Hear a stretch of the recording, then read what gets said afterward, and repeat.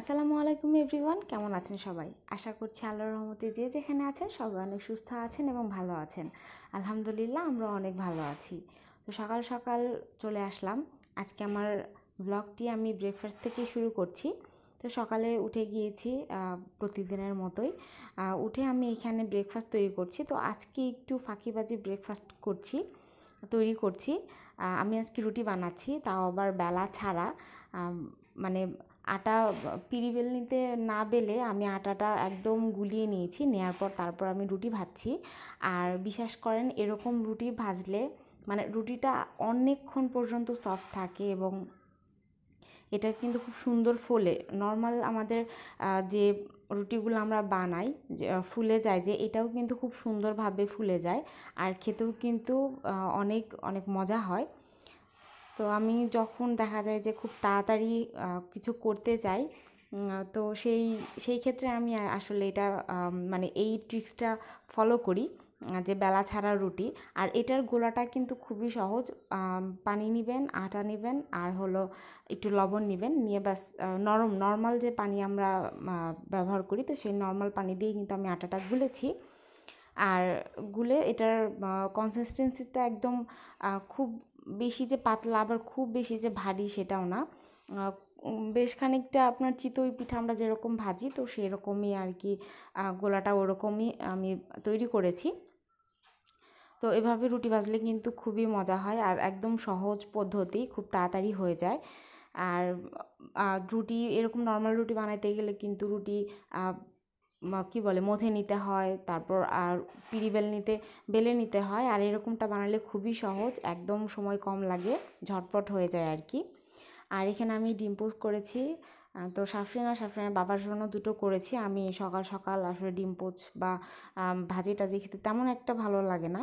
তো এখানে আমি রাতের বেলা যে ভাজি ছিল সেই ভাজিটাই আমি একটু গরম করে দিয়েছি, আর এই ভাজি দিয়েই আমি আর কি সকালে নাস্তাটা করে, সেরে নেব।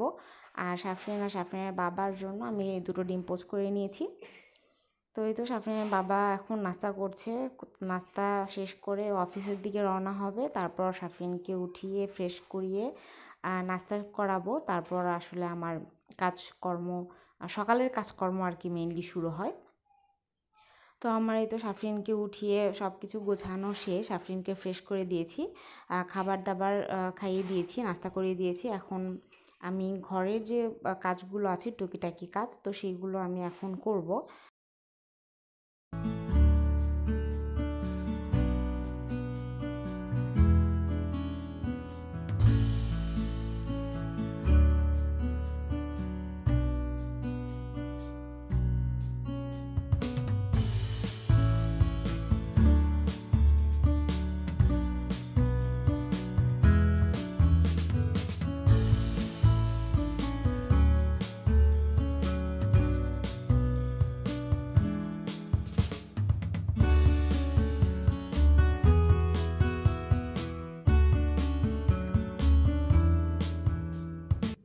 তো এই তো আমার বিছানা ঝাড়া শেষ। এখন আমি আমার খাটটা একটু উপরে যে আলগা ধুলোগুলো আছে, তো সেগুলো আমি একটু ক্লিন করব।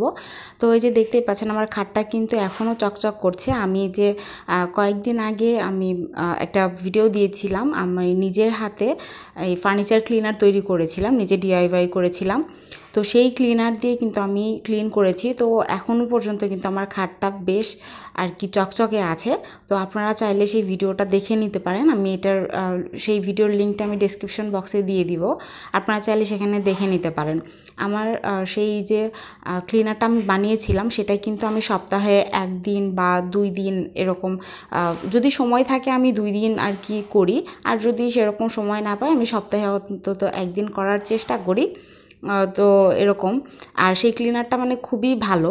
আপনারা যদি আপনাদের যে ফার্নিচারগুলো আছে, পুরনো ফার্নিচারও যদি সেই ক্লিনারটা দিয়ে আপনারা ক্লিন করেন সেক্ষেত্রে কিন্তু দেখতে খুব সুন্দর মনে হবে যে মাত্র পলিশ করে নিয়ে আসছেন। আর আমি মনে করি ইনশাল্লাহ আপনারা এটাতে অনেক উপকৃত হবেন। তো অবশ্যই অবশ্যই আপনারা সেটা বাসায় ট্রাই করবেন। তো আমি আশা রাখি আপনারা উপকৃত হবেন আর কি। পলিশের জন্য বাইরে আর কি আপনাদের টেনশন করতে হবে না যে লোক বাইরে থেকে লোক নিয়ে এসে পলিশ করতে হবে। এতে কিন্তু আসলে নিজে নিজে যদি কিছু করা যায় তার মধ্যে আসলে আনন্দটাই আর কি অন্যরকম। তো যাই হোক, আমি দুই রুমটাই গুছিয়ে নিয়েছি। নেওয়ার পর আমি এখানে আর কি ঝাড়ু দিচ্ছি। আর আমার বেডরুমটা তো দেখতে পাচ্ছেন একদম ছোট একটা খুব তেমন বেশি একটা বড় না ছোট রুমটাই। এই জন্য ঝাড়ু দিতে আমার আর কি বেশি কষ্ট হয় না বা সময় বেশি লাগে না। কিন্তু এই রুমটা আর কি ঝাড়ু দিতে একটু সময় লাগে কারণ সোফার একদম নিচে দিয়ে ঝাড়ু দিতে হয় এবং মুছতে গেলেও কিন্তু একদম আমি পুরা সোফার নিচে পুরো শুয়ে পড়ি যখন আমি এই রুমটা মুছি। তো আসলে মপ দিয়ে যখন আমি ক্লিন করি করি, তো তখন আসলে আমার মন মতো হয় না। কারণ এই যে ফার্নিচারের নিচে দিয়ে মপ দিয়ে ওভাবে সুন্দর করে আমার মনে হয় যে আমার, মুছতে আমার ভালো লাগে না। তো যার জন্য আমি হাত দিয়েই মুছি। আর এখন তো আমার মপ নাই, কারণ আমার যে মপটা ছিল সেটা আমি যাই হোক কাউকে দিয়ে দিয়েছি। তো এখন আর আমি সেই মপ ব্যবহার করি না। আমি হাত দিয়ে এখন মুছি, আর হাত দিয়ে মুছলে সুন্দর একদম খুঁটিনাটি কোনা কানায় খুব সুন্দর করে মোছা যায়। যার জন্য আমি হাত দিয়ে মুছি, আর একটু কষ্ট হয় যদিও। তারপরেও হাত দিয়ে মুছলে আর কি ভালো লাগে। আর এখানে দেখেন সাফরিন কোথায় বসে আছে, আর বসে বসে পড়ালেখা করছে ড্রামের ওপর।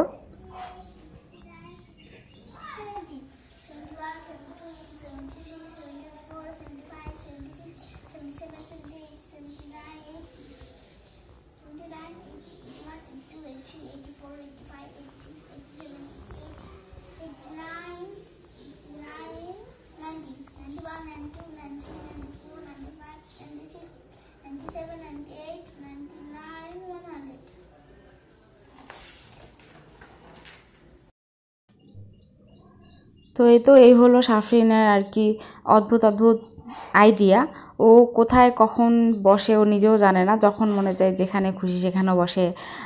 এটা হলো একটা ড্রাম আমি রান্নাঘরে ছিল। তো রান্নাঘর থেকে আমরা যে চাল রাখি, যে ড্রামগুলো প্লাস্টিকের হয়, তো সেই ড্রামটা আমি বের করেছি।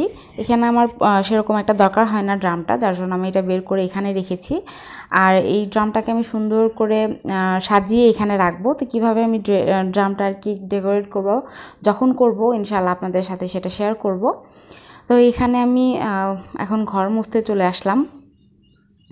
তো ঘর মুছলাম। আর রান্নাবান্না কিন্তু আমার শেষ। আমি রান্নাবান্না শেষ করে তারপর কিন্তু আমি ঘরটা মুছতে এসেছি। কারণ এখন আর কোনো নোংরা হবে না। আর রান্না করার সময় যেহেতু বারবার হাঁটাচলা করতে হয় এই জন্য কিন্তু আর কি ঘরে দেখা যায় যে মুছলেও সেটা পরে কেমন নোংরা হয়ে যায় ভালো লাগে না। তো এই জন্য আমি রান্না শেষে আর কি ঘরটা মুছি। আর আজকে আমি একদম সহজ রান্না করেছি ডিম ভুনা করেছি আর হলো বেগুন ভাজি করেছি। তো এইটাই হলো আজকে আমাদের দুপুরের খাবার।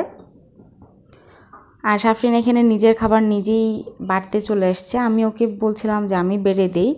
কিন্তু না, সে নিজের হাতেই বেড়ে খাবে। আমাকে উল্টা বুঝাচ্ছিল যে, আমি বড় হয়েছি না, এখন নিজের কাজ নিজে করতে হবে।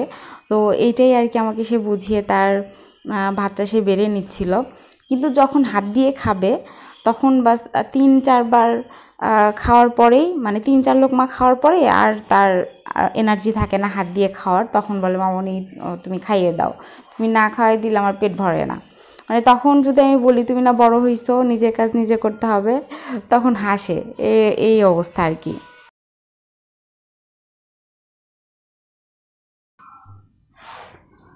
তো এই তো বাবুকে আমি এখন খাওয়া দাওয়া করে ঘুম পাড়িয়ে দিয়েছি। আর ও ঘুমালে আসলে পুরো বাসাটা একদম চুপচাপ হয়ে যায়। তো যাই হোক, এখন আমি শাওয়ার নিব, নামাজ পড়ব দুপুরবেলাতে আর সবাই বাবা এখনও অফিস থেকে আসেনি। তো আজকে আমি আমার ব্লগটা এখানেই শেষ করছি। আশা করছি আমার পুরো ব্লগটি আপনাদের ভালো লেগেছে। ভালো লাগলে প্লিজ একটা লাইক দিবেন শেয়ার করবেন। আর আরও নতুন নতুন ভিডিও দেখতে চাইলে অবশ্যই আমার চ্যানেলটিকে সাবস্ক্রাইব করবেন। সবাই ভালো থাকবেন, সুস্থ থাকবেন, আমাদের জন্য দোয়া করবেন।